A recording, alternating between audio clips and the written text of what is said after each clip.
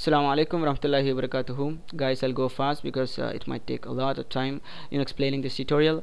So you're a pro gimper you use gimp a lot and you have like tons and tons of photoshop or gimp brushes. And imagine you copying all those brushes to the directory gimp directory. Brushes directory in the gimp directory. Imagine what will happen. 15 to 30 minutes loading time and then browsing through the brushes will take a lot of time. Using it uh, will be like it will be real headache you know going through all those brushes because the your system will start lagging. So I found this amazing plugin. It's called it's called um, brush manager. Yeah it's a brush manager which allows you to install hundreds and hundreds of brushes and it won't take single time to load up. Like it won't load up the brushes by default but once you play with the plugin it will start copying the brushes. I'll show you how they do that. Anyways first of all download this uh, python script. There are like two versions. Just download any script and place it. Uh, like okay if you're using windows go to c program files gimp. Is okay you know the place where you copy the brushes right? Go to that directory because I really don't I have never installed gimp in um, windows right? Uh, but I have installed in ubuntu so in ubuntu you go to your gimp directory. This will be hidden. You have to press ctrl h. After you go to home and then your username like okay just like click over here. I'll show you fine. Uh, okay press ctrl h. Once you press ctrl h then you go to yeah gimp hyphen 26 directory. So this is the directory. Then you go to plugins. Here we have it.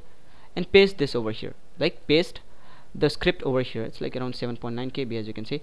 Um, and then open it up with your text editor right? Right? Um, yeah I've got gedit.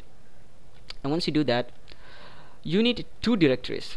Now let's go back to the page. As you can see over here download it and place it in your GIMP plugins directory.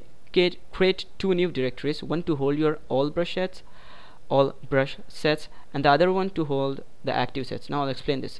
All brush sets create a directory. So uh, for me it is the same directory where I download the brushes and copy all the brushes in that folder. And obviously copy all the brushes in that folder and um, create subdirectories. Like I'll show you um, yeah as you can see over here this is my first directory where I'm copying all the brushes. But you have to make subdirectories. As you can see I have like 13 subdirectories over here. So uh, create like this these are like sets different sets of brushes. So one it could be like flora brushes vector brushes grunge brushes blood brushes and other you know these other lightsaber brushes whatever okay? So create these directories and place the brushes. As you can see over here I've got like around 30 brush I guess. Uh, okay roughly around that. So place those brushes over here. And create as much subdirectories you want. So once you you have done that so this is your directory with all the brushes. This is the directory right? The first directory with all the brushes and they say active underscore directory I have renamed it. And the second one is install underscore directory. This is the second brush set. Um second second folder not the brush set.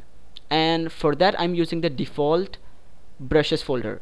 Default brushes folder from GIMP right? This is my second directory. And that's what you have to edit over here. Once you open brush manager underscore 2.01.5 so this is the first you know directory to hold active sets directory to hold active sets which will be empty alright which will be empty. And the second one which is the install directory which will have all the brushes in subdirectories. I hope you get it in subdirectories like directory where you place your sets alright save it.